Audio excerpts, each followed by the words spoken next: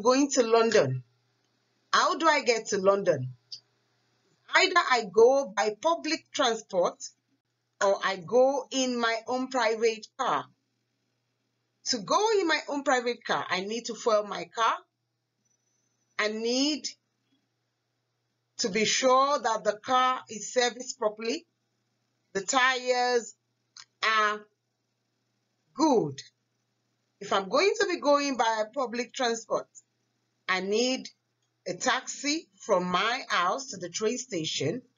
I need to have booked a train uh, um, some days before, some weeks before. I need to take that train to London.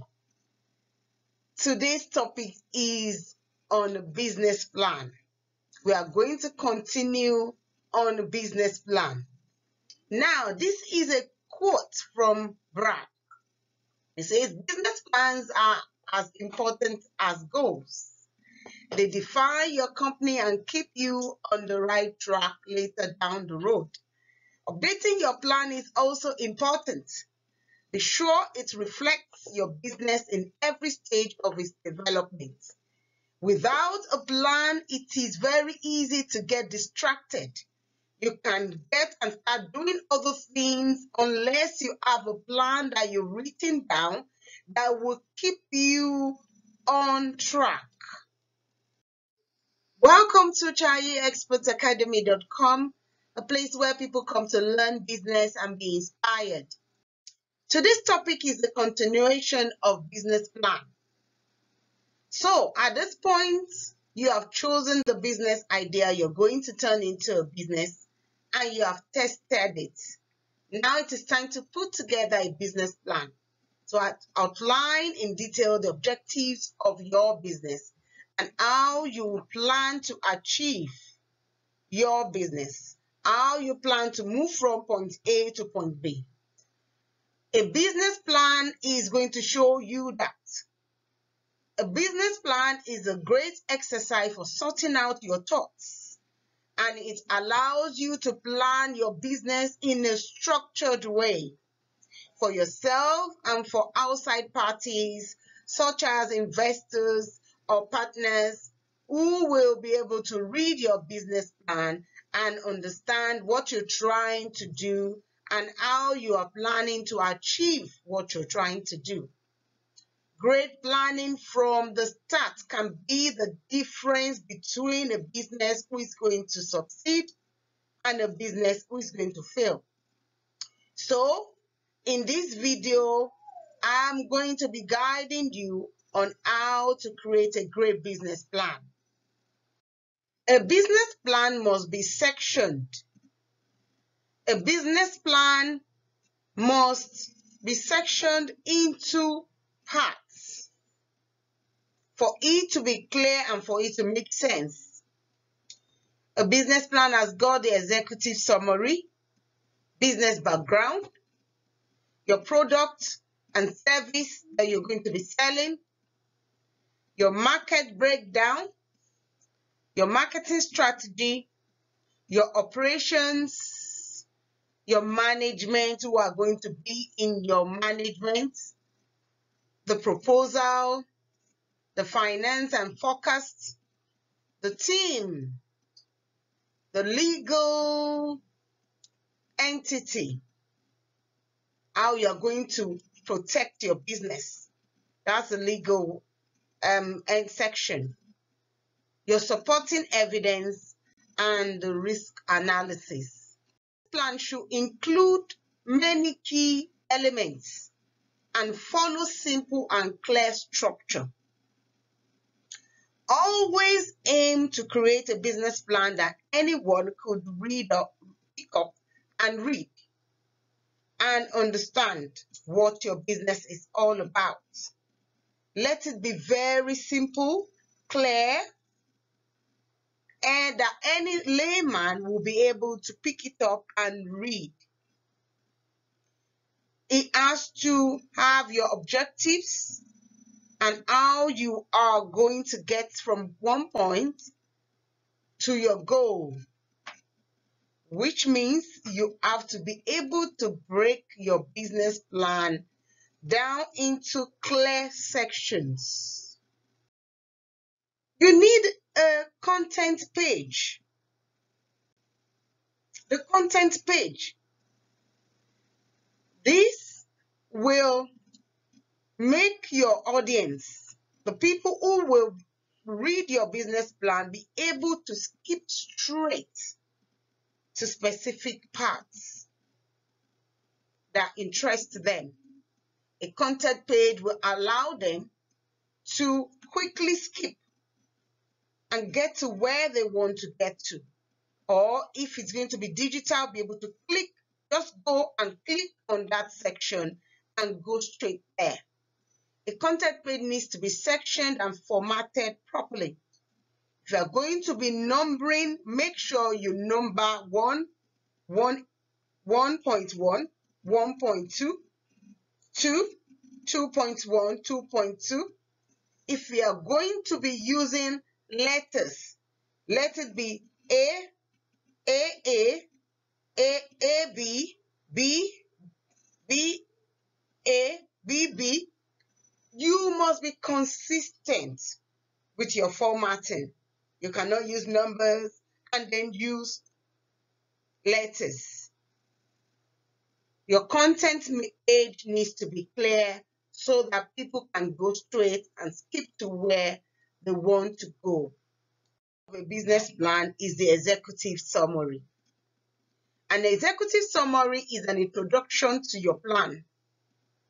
It's an introduction to your plan. It shows the overview of everything in your business plan. It provides the reader with a short, concise, and clear overview of what your business is, is all about.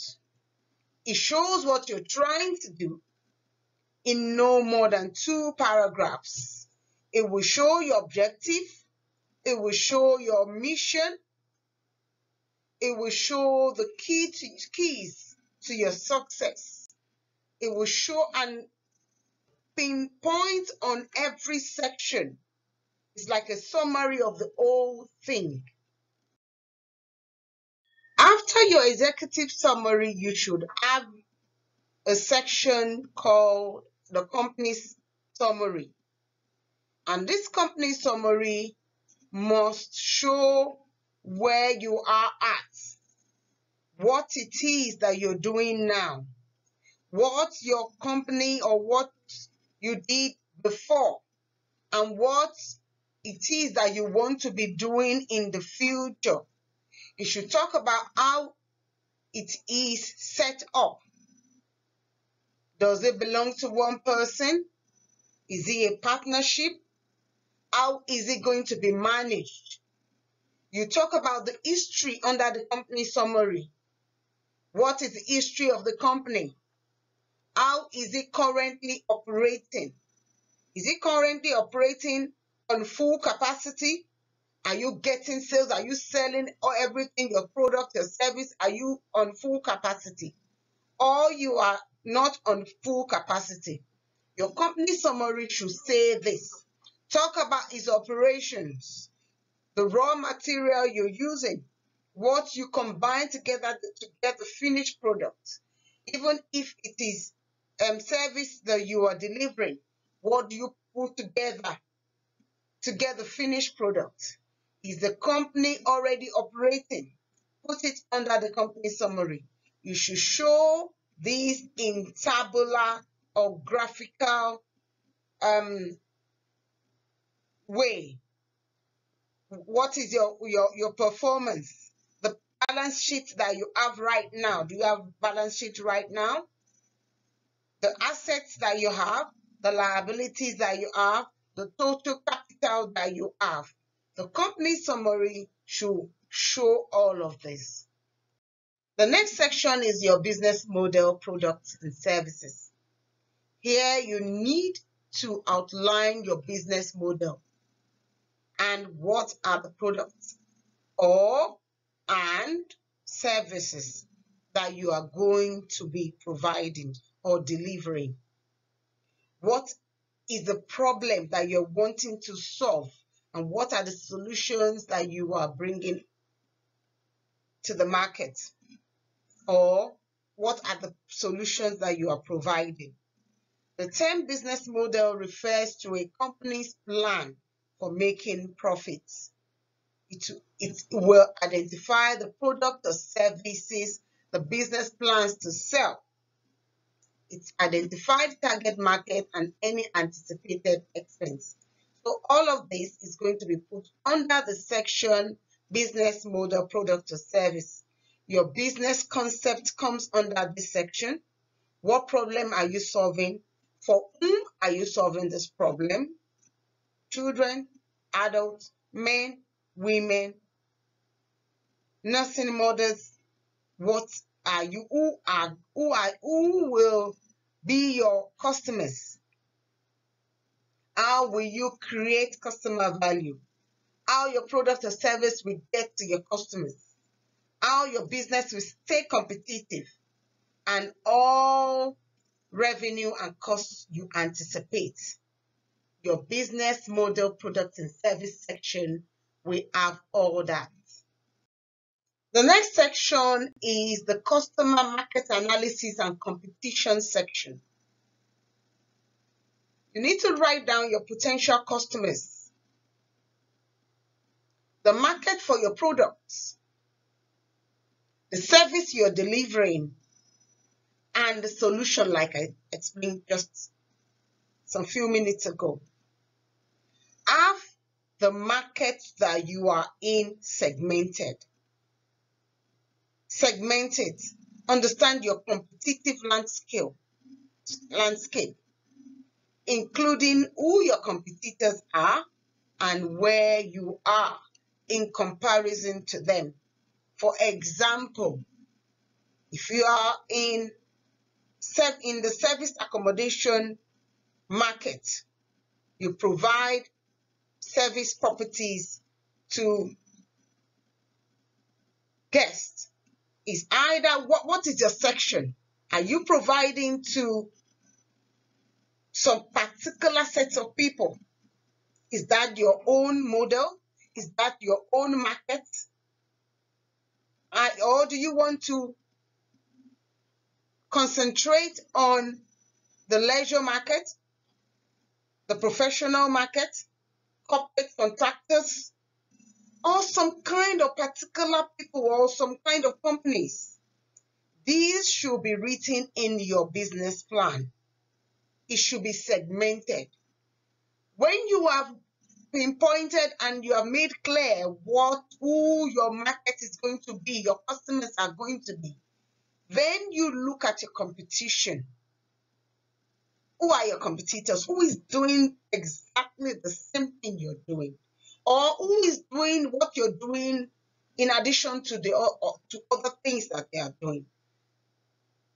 How are you going to stand out? You need to write this under the customer market analysis and competition section. What is your strategy and how are you going to implement your goal, your business plan. This needs to be written in the strategy and implementation section of your business plan. Explain what you do in detail and the steps you take to implementing and achieving your goal. What are the external organizations you work with? Do you work with cleaners? What are the external organizations? If it is the example I gave earlier, service accommodation, who do you work with? Do you work with Booking.com? Do you work with Airbnb? Do you work with Google? Who do you work with? Who are the external organizations that you work with? Explain your competitive edge. What do you do better than your competitors? What is that thing that you had that you know that your customers will really, really love? What's your sales strategy? And who handles the reservation in your company? Who will the customers get to and who will handle that reservation? Talk about your sales forecast. Not write it and then graphically show it. Your sales forecast is it seasonal? Do you make do you sell throughout the year? Or do you have a time that you sell? These should be under the strategy and implementation section. Break the percentage of sales into their seasons. Do you have two seasons in your own market? Do you have three seasons? When do you sell the, the, the most? Break it down. How do you sell? Do you sell directly or through third-party platforms? Do you sell direct to customers? Do you call them? Do you email them through MailChimp? Or do you use third-party platforms to get to your customers and attract them? What is your sales forecast? If you haven't sold, you need to write, you need to show what you're forecasting that you're going to sell. If you have sold, you need to show what you have sold in this strategy and implementation. The next section is the marketing and sales section. You need to show a clear plan from a marketing and sales perspective. How do you intend to achieve your object, your sales and marketing objectives? How are you going to sell? Are you going to use your own website? What are you going to sign up to Google and have a booking engine on Google? When people are looking for you, they find you on Google, there's a booking engine there. How are you going to sell? What is your marketing and sales strategy? Are you going to have and create adverts? How are you going to generate revenue? How is money going? How are you going to reach your, your customers? Through what platform? Funnel. Are you going to reach your, your customers? Adverts? Are you going to be on other people's platforms? And make sure that you're on the first three pages there? Or are you going to pay Google for adverts and make sure that you show up for some words? If it is photography, anybody saying London photography, that you're showing up and people are able to click and then come to your website and buy from you? How are you going to get to your customers? How are you going to market? How are you going to sell? You need to write this and uh, uh, under this marketing and sales section. If you have already begun, write what you have already done under the marketing and sales section. Write it down but you must also show it graphically.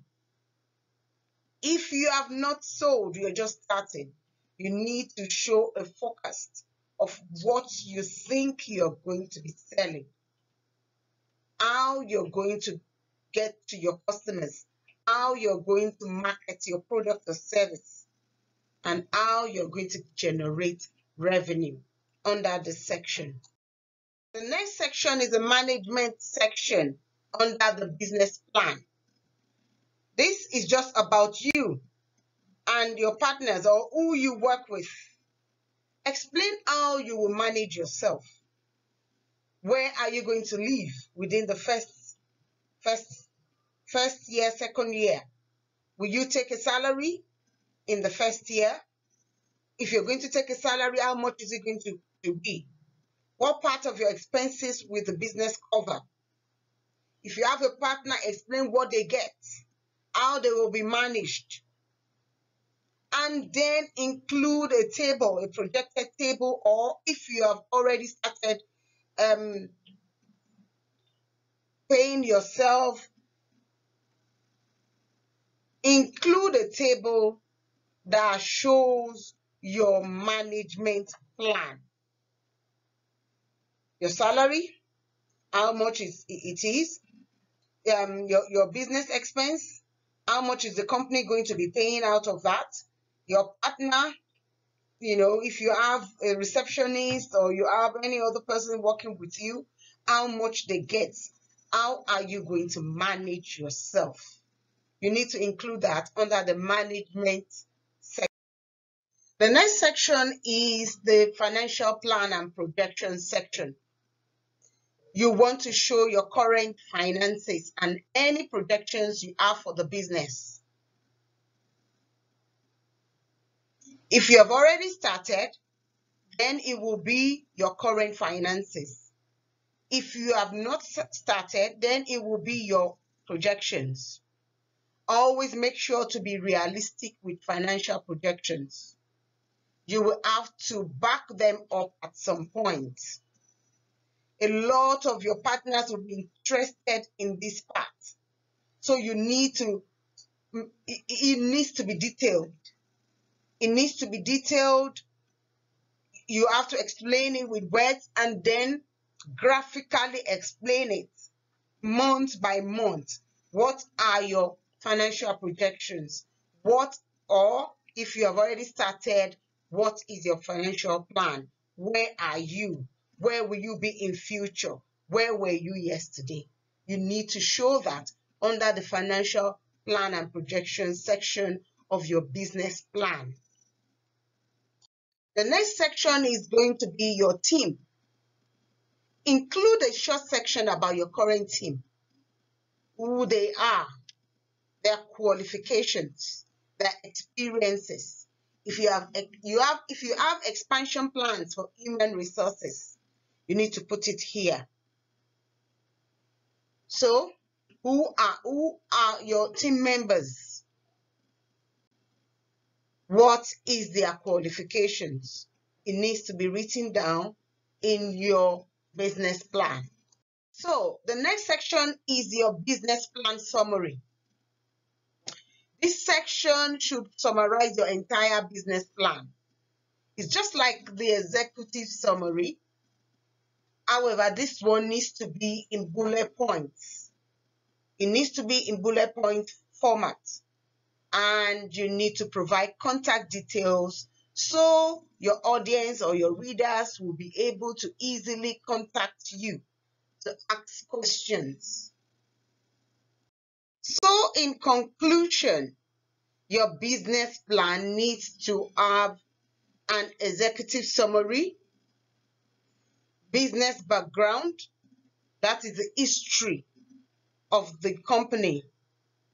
Before, now, and future, what you intend to do in the future, what products or services that you're bringing to the market, what is your market breakdown, which section are you going to be in, what's your marketing strategy, how are you going to bring your product or service to your customers, your operations, how are you going to carry out things, bring things together, your management, you managing yourself, your financing and your forecast, what are you doing now? What what kind of money is coming in now? How are you managing that money?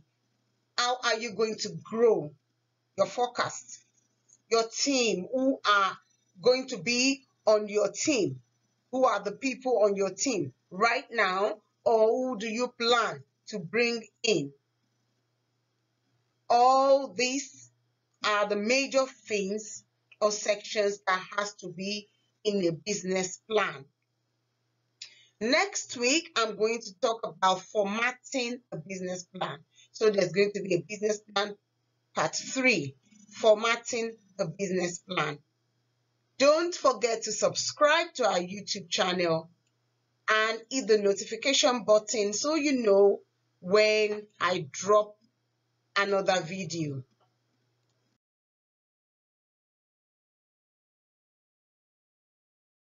you